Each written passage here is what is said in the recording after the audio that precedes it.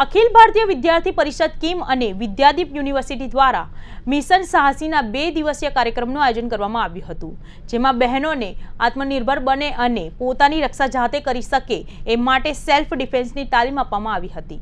સુરત ગ્રામ્ય વિસ્તારોમાં વિદેશી દારૂનું વેચાણ ન થાય અને બુટલેગરો પર બાજ નજર રાખવામાં સુરત ગ્રામ્ય એલસીબી પોલીસે પેટ્રોલિંગ હાથ ધર્યું હતું અને બાદમીદારોને કામે લગાડી દીધા હતા. તે દરમિયાન સુરત ગ્રામ્ય એલસીબી પીઆઈ આરબી ભંડોળનાઓએ ચોક્કસ ખાનગી રાતે બાતમી મળી હતી કે ઓલપાડ તાલુકાનો લિસ્ટેડ બુટલેગર વિજય ફૂડ તેના સાગરિકો સાથે મળીને ઓલપાડના ભારુડી ગામની સીમમાં વિદેશી દારૂનો મોટો જથ્થો લાવ્યો છે અને અલગ અલગ ગાડીઓમાં કાર્ટિંગ કરીને સગેવગે કરી રહ્યો છે. ચોક્કસ બાતમીના આધારે એલસીબીની ટીમે રેડ કરી હતી.